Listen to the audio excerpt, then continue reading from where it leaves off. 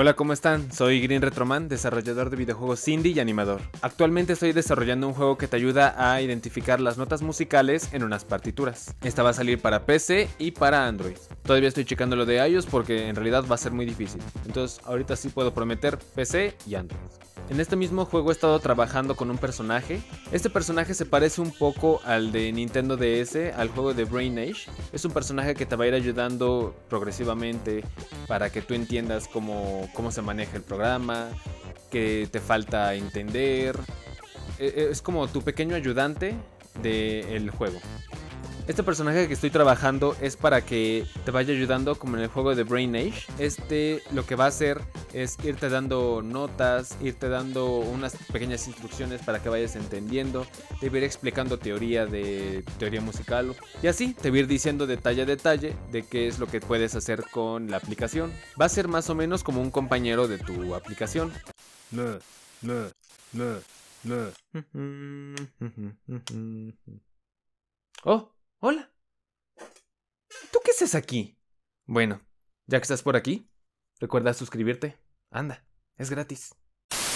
También se parece mucho al personaje de Big Brain Academy. Es un personaje de un videojuego en donde tú tenías que aprender diferentes cuestiones para irte haciendo como más inteligente, ir aprendiendo más cosas y así. Tuve la versión de Wii y también la versión de Nintendo DS. Ambas me parecieron muy buenas, entonces más o menos me estuve haciendo unas referencias con respecto a los personajes esos que ya les mencioné, Big Brain y Brain Age.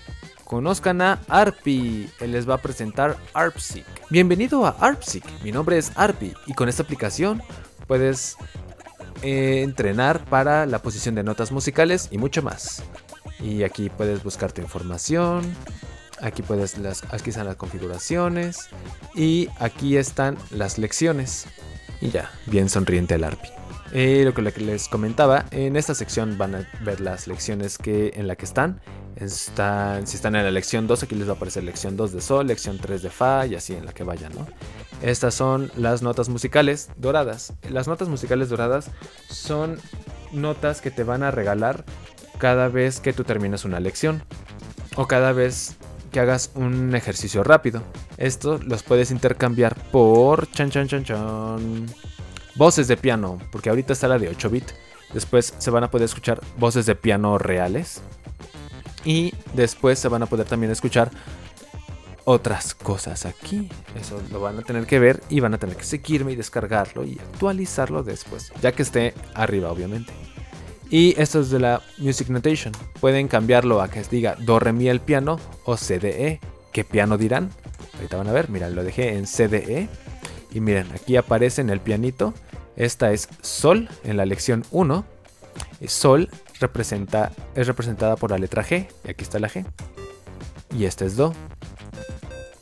Y esta otra vez es Sol. Y así. Pero también está la otra forma que es Do Re Mi, que creo que aquí en Latinoamérica es un poco más conocido. Entonces vamos a ponerle aquí en Do Re Mi. Voy a las lecciones, Sol, y ya está. Y ahora aquí aparece Do, Re, Mi, Fa, Sol. Entonces aquí este es Do, este es Sol. Y así es como podemos hacer que eh, nosotros podamos aprender de, aprender de la manera que nosotros queramos. O también si no quieres que aparezca nada, si ya te la sabes, como las posiciones en las notas del piano, pues entonces también lo puedes poner que no haya nada. Este botón todavía no sirve. Ah, miren, es el botón de reinicio. Ya ni me acordaba que era eso. Pero bueno, ya saben, entonces yo creo que la próxima semana yo creo que ya estaría ARPSIC listo. Pero todo depende, así que por favor estén muy atentos para que no se vayan a perder el día de salida de ARPSIC y a todos les sirva esta aplicación para aprender a encontrar las notas musicales en unas partituras. Pero eso no es todo. Oh, ¿qué es esto? greenretroman.com es una página, es una página para que ustedes puedan saber todas las noticias de mí. Entonces miren, aquí encontrarán la noticia más reciente, que ya está Picking Tower, pero en realidad esa no es la noticia más reciente. La noticia más reciente sería que ya está Pink or Blue, pero todavía no lo he actualizado. Entonces, bueno, aquí pueden entrar y ver las noticias más recientes de mí, pueden ver mis, este, mis juegos, pueden ver mis animaciones, pueden ver mis live streams también. Miren aquí, si le dan clic al live stream, aquí pueden ver si estoy en vivo o no. Entonces ya saben, en greenretroman.com y ahí pueden saber todo sobre mí. Y también me pueden mandar aquí, miren, un mensajito. Y aquí están todas mis redes, Facebook, Twitter, YouTube e Instagram. También si se van aquí en los juegos, por ejemplo, si no saben cómo descargar mi juego, ya saben, váyanse a greenretroman.com, Piggy Tower. Y lo quiero, ah, pues para Android. Y pum, ya, lo puede instalar. O también si me voy al de PC, también me lleva al de PC. Entonces ya saben chicos, voy a actualizar esto pronto para que también esté el de Pink or Blue. Puedan descargar todo o también ver mis animaciones. Ya después pondré los videoblogs, pero miren. Así es. Pueden ver aquí todo sobre mí. Ya saben, greenretroman.com. Y también les tengo una gran noticia. Estoy pensando hacer un podcast. Un podcast que voy a subir a Spotify, a Apple, a Google Chromecast. Esto es con el fin de que me puedan escuchar en diferentes lugares, diferentes momentos, podamos hablar de otras cosas, un show, como un tipo de show que va a ser semanal, va a ser todos los lunes. Este lunes que viene no va a ser. Pienso que va a ser el día 3, 3, el día 3 de mayo. ¿Mayo? Enero, febrero, marzo, abril, mayo. Sí, sí, en abril. Digo, mayo. Entonces, si va a ser en mayo, cuando voy a sacar este nuevo podcast, van a salir tres episodios al mismo tiempo. Ya después voy a ir haciendo uno semanal y otro y otro y otro. Así hasta que pues me canse o se cansen ustedes o ya no quieren escuchar. Pero en realidad va a ser como un espacio para poder hablar, para poder decir todo lo que yo quiero, como sin pausas, sin tener que, tener que poner como tanta edición. Eh, lo que quiero es tener como un espacio todavía más cercano a ustedes. O sea, los videos, blogs, estos, los que hago, quiero que sean como una, una, una ventana como a mi vida y a mis videojuegos, a mis, este, o sea, todo lo que hago como más profesional, ¿no? Pero también al podcast sería como un show para ustedes y para que yo pueda expresarme más a lo que yo quiero decir. Por ejemplo, quiero comentarles sobre videojuegos y animación. Bueno, en realidad de eso se va a tratar todo el podcast, sobre esos dos temas en específico. Ya después voy a hablar, por ejemplo, eh, la filosofía en los videojuegos, este, la animación independiente, por qué las grandes empresas no le pagan bien a sus empleados. Y así, ¿no? Vaya, ya, ya, creo que algunos ya me conocen y saben de qué voy a hablar.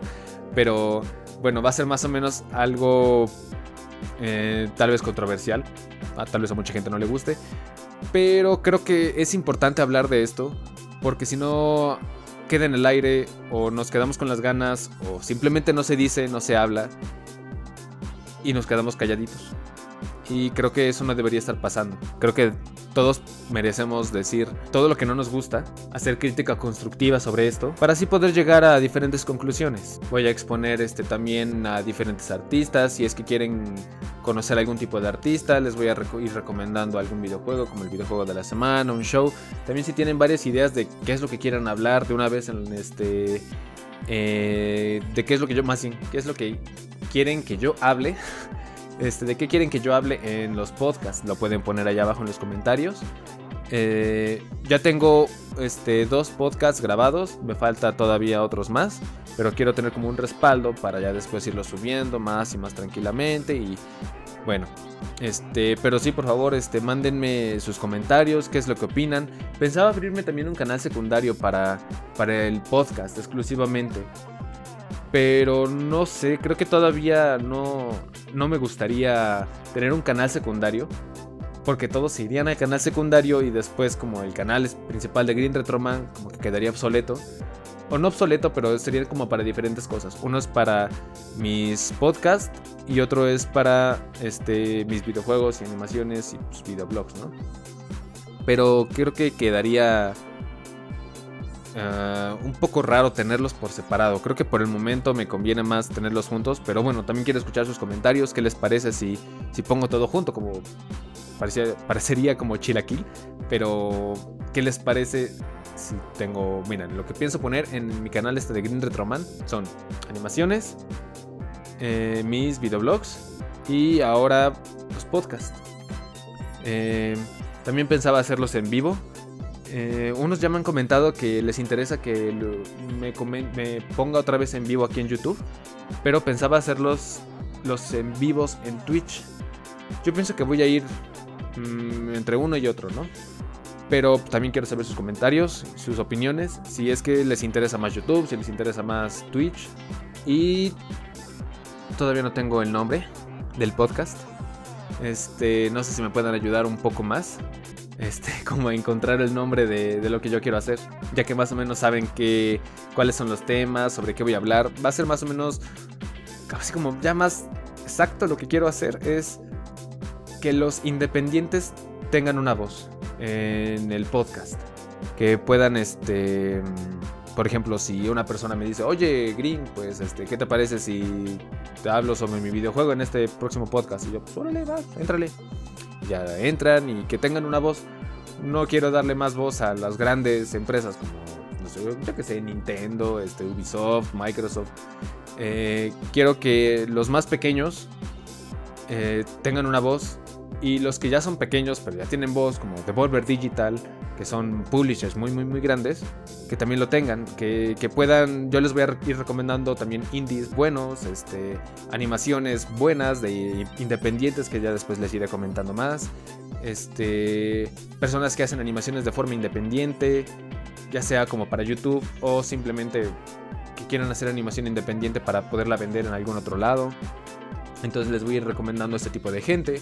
Este, me gustaría entrevistar también a gente importante, gente independiente, obviamente, gente como el señor Pelo o, este, o el Lumpy Touch. Pero bueno, todo va a ir dependiendo de qué tanto pueda avanzar este proyecto del podcast para que también entrevistar a gente que ya está en el medio, gente que ya está en estudios aquí en México o en Paraguay o Estados Unidos o en donde tú vivas. Si me quieres caer con algún comentario de animación, de videojuegos, de dibujo, de lo que sea que quieras que hable en el podcast. Entonces ya sabes, pon en los comentarios. Yo creo que este fue todo el video. Muchísimas gracias a todos por venir a verme otra vez. Y nos vemos para el próximo jueves. Chao, chao.